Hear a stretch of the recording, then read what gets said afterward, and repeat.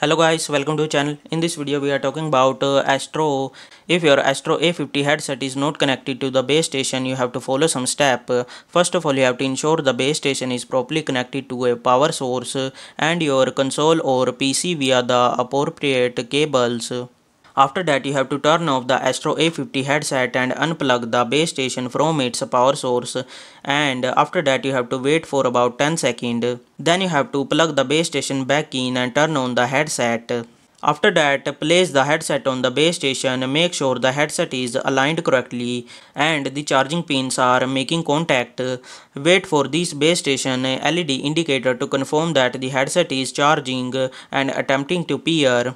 After that you have to update the firmware, download and install the Astro Command Center software from the Astro Gaming website, connect the base station to your PC via USB and then open the Astro Command Center and follow the prompt to update the firmware for both the headset and the base station. To reset your headset, press and hold the Dolby button and the game button simultaneously for about 15 seconds. This will reset the headset and clear any pairing issue. Then you have to ensure there is no wireless device nearby that might causing interface.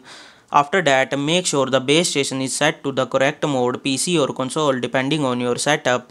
You can switch the mode by pressing the button on the side of the base station. Hopefully this method help you to fix your Astro A50 not connected to the base station and if you want to buy the product I'll give you the link in the description. Hopefully this video help you. Thanks for watching.